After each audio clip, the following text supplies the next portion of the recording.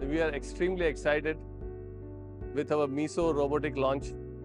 I think the day which we are looking forward for last 15 years in the journey of arthroplasty since we started in year 2009 until today. I think the way Meril as an organization has grown from 200 joints to 2 lakh joint and it is still going very very strong. We have a market share of about 42% and we think that it's our responsibility now that we take this technology across the country in every corner of this country and make it accessible, make it affordable, make it available for every center so that the patient of this country get the best outcome with the sub-millimetric accuracy of this robot.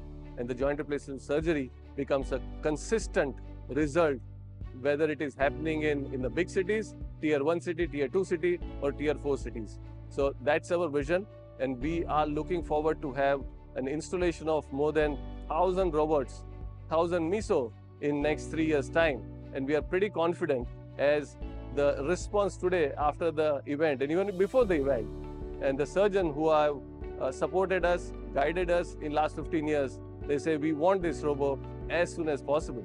So I think uh, we have no doubt we might cross that thousand number and it's just not a number.